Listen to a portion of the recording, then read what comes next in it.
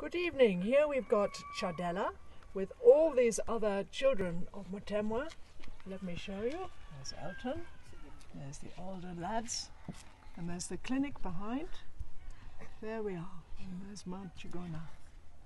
So here now, Chadela wants to say a few words to you. So good evening, Chadela.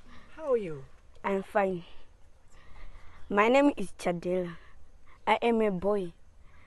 I am 10 years old now. My mother is Sheila.